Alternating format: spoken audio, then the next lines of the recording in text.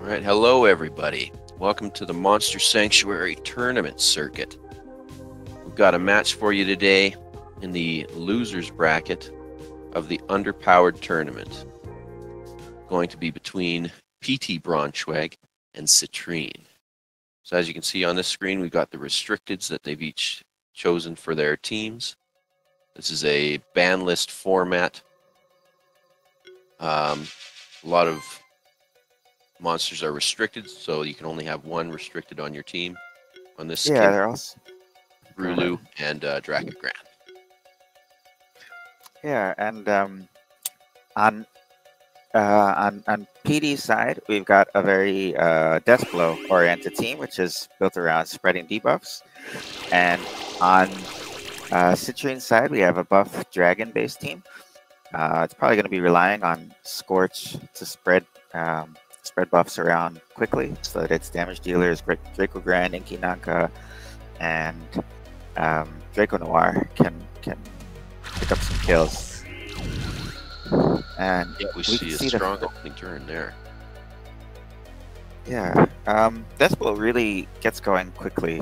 Um, without good debuff removal, I mean, there's there's Restore and Scorch, but that's only one target at a time. It's gonna be very hard for PD to keep up, uh, for um, Citrine to keep up. I think. Yeah, like you've got the the passive on Draconov that makes the the debuffs less effective, which can help somewhat, especially in in slower, stallier teams. But I think PT's team has enough aggression here that that's not going to be as much of a factor. Yeah, and with Stolby and Spectre in the backline, there's also some chance for uh, revive shenanigans. Yeah. Um, especially with um, Rainbow Blob's passive debuff spreading, it's gonna be very hard to uh, clean this up. I think. Yeah, and of course, with the latest update, Rainbow Blob got Phoenix Affinity, which has made a huge jump in its viability. Yeah, yeah, it used to be very, very squishy, easy to kill, and uh, it's it's still not the tankiest thing in the world, but especially now without um, any form of debuff removal on Citrine side, it's gonna be very difficult. Huge damage from Ninki there, though. Nearly taking out the Stolby without the full combo meter to benefit it. Yeah, Legion, um, Legion can spread um, buffs really quickly. Although Grulu's doing its job cleaning debuffs, spreading uh, clean buffs, spreading debuffs very quickly.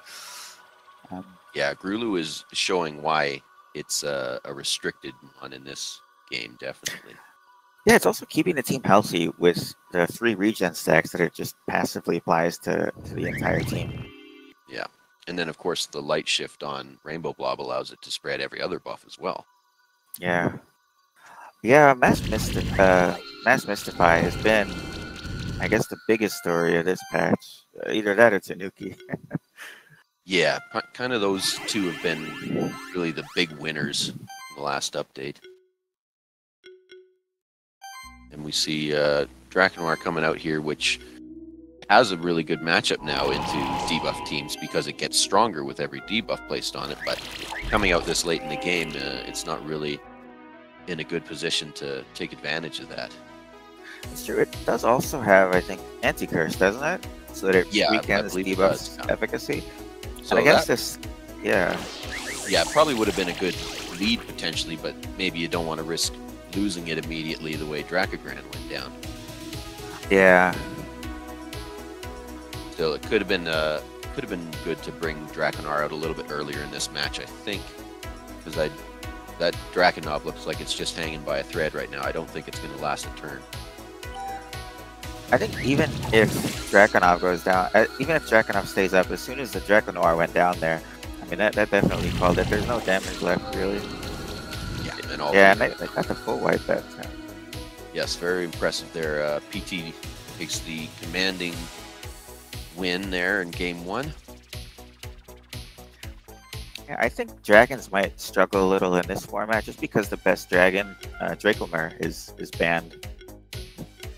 Yeah, I think it's it's still a very viable team in this format, just because you do have a choice between Dracogran and Dracozul because they're both restricted, but you still have Ninki and Ninki Nanka, which is a very, very strong duo.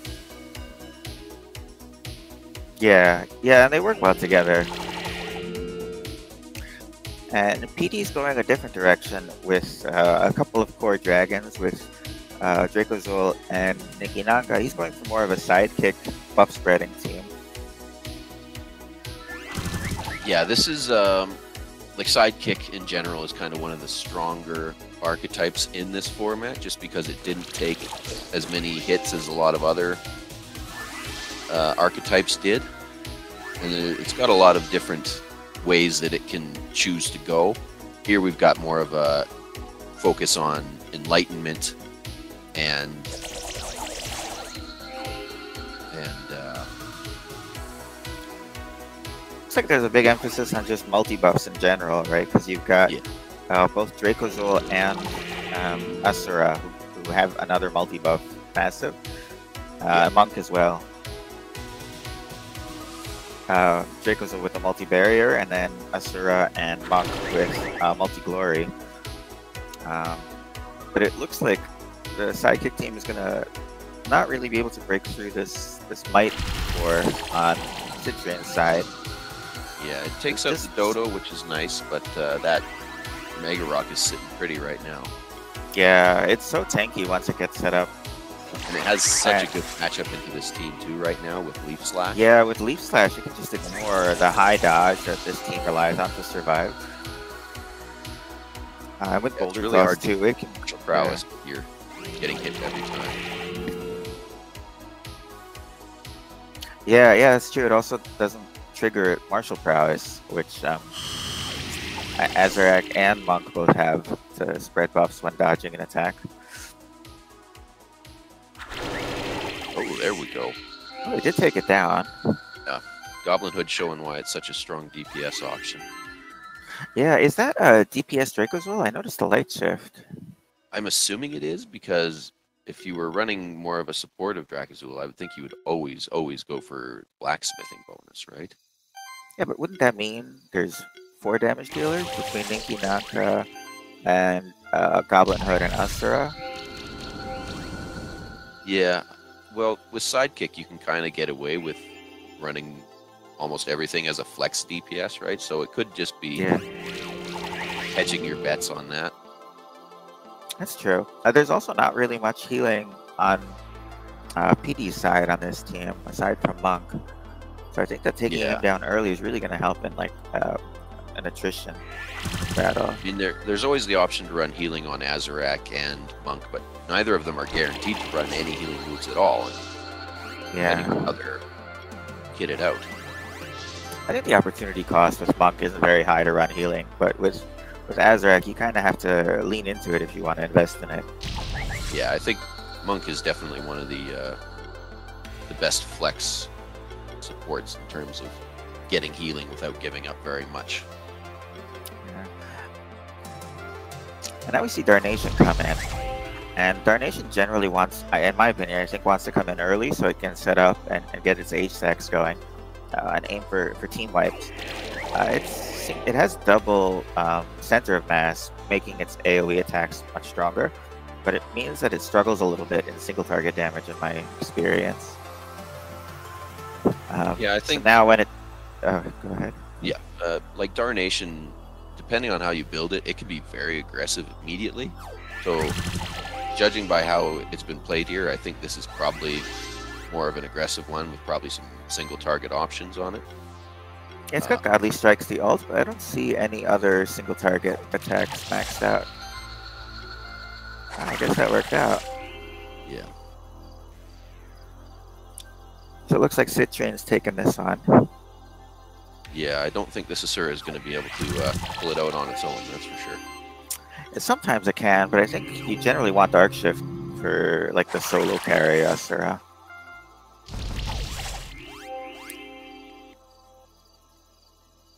Back for another go round, but still not going to be enough. Almost takes out. Almost killed Bard, yeah.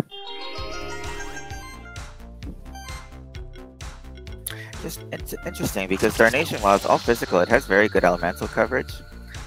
So it's, uh, I I guess it was enough to, to pull out there. Yeah, Citrine evens it up. We're at one game apiece now, heading into game three. We see the dragons come back out, and now we see a more might-oriented team on PT's side coming out. A lot of the same monsters we saw last round. Yeah, both these players went for like a might team, and now we're seeing both of them have like a Ninki Naka based team. It's, uh, it's very interesting. There's some decent overlap on both teams, on both players' teams, I should Yeah. say. Yeah, this, like we see here, PT decided to go with four of the same mons we just saw in the, the Might team, but there's more of a channeling balance focus here because we've got the uh, the open. Yeah, Dodo also has channeling balance, which I think not a lot of people pay attention to. Yeah, just because it doesn't really have any other channel synergy, but it, it fits in nicely with Kanko and Megara. Uh, yeah, oh, makes it a good choice. with Kanko because uh, Kanko benefits from the uh, the wildlife preservation as well. oh, that's true. Yeah. That's true. And, and Dodo, just in general, is a very good healer. It's got Yeah. passive debuff removal if needed, but you know if you expect some incidental debuff um, being applied.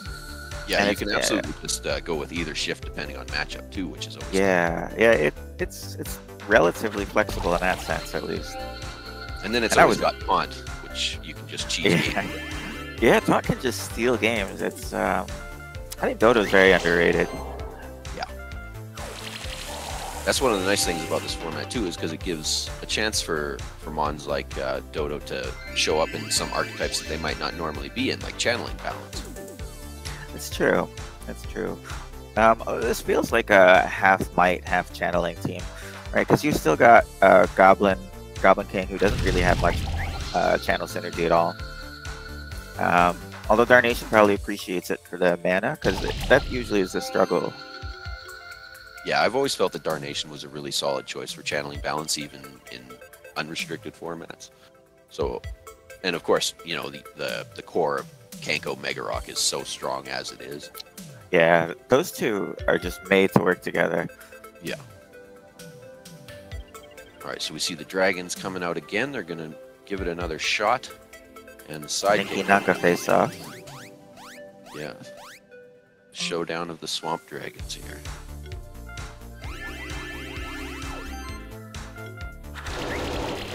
And PT's gonna lose Ninki Nanka right away, so that's an early blow there. Yeah, it's a quick kill for um, Citrine there. Although I wonder, maybe taking down uh, Monk and Azarak would could possibly help, just because there's so much disruption that they provide. Monk with combat guard, and Azarak with all the dodge and blind that it applies. Yeah. I mean, when you when you have Ninki Nanka and Ninki as your attackers, you do at least have Aqua Blast on both of them, so you can avoid a little bit of that.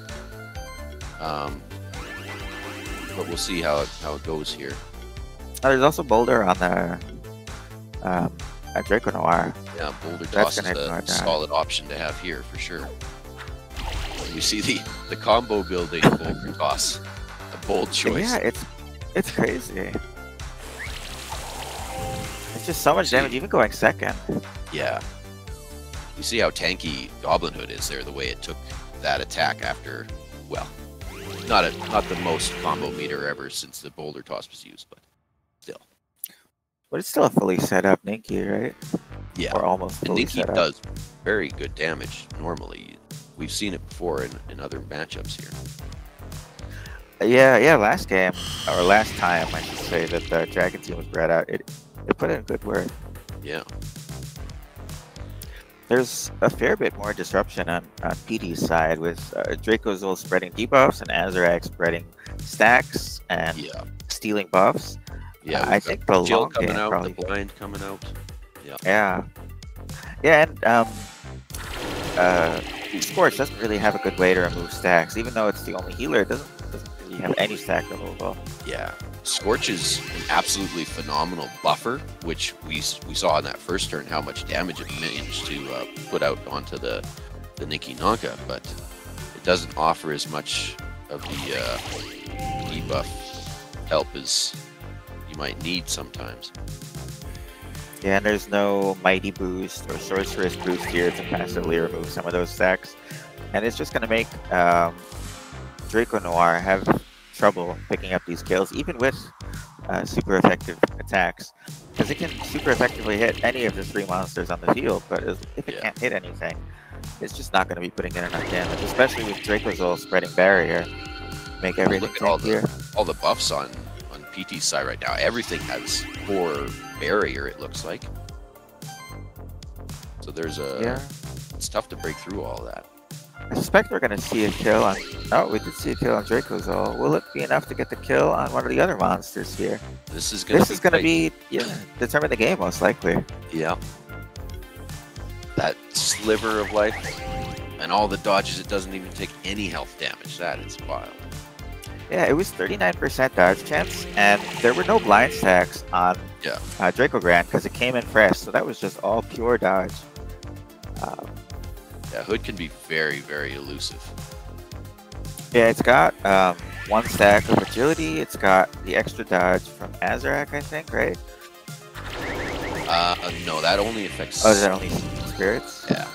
Yeah. Now it's Right, down right. to three to two.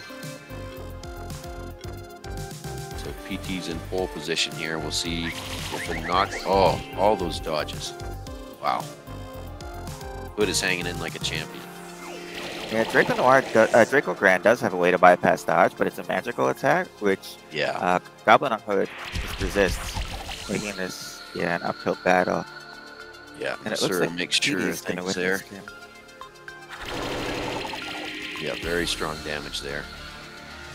So PT takes the set three to one. Well yeah, played. this is uh, very interesting. Both Yeah. teams had, like both players had a lot of overlap in their teams. Yeah. Um, I guess there were certain strong cores that were identified by both players with the Ninki Nanka and the sidekick stuff going on. Um, and obviously Mega Rock, which which which Kanko Yeah. uh, put in a lot of work for both players. Yeah. And it was nice to see both players kind of approach these cores in different ways too. Like there was a lot of uniqueness in these teams. So I love seeing Yeah, for sure. Uh, seeing Goblin King in a uh, channel balance core was was interesting for sure. Yeah, we didn't really get to see him do anything, but he was there. But he was there. He was a moral support. Yeah. All right. Thanks for joining us, everybody. We'll see you again next time. Commentary was provided by Flowing Jeffawa and Primer Dimer.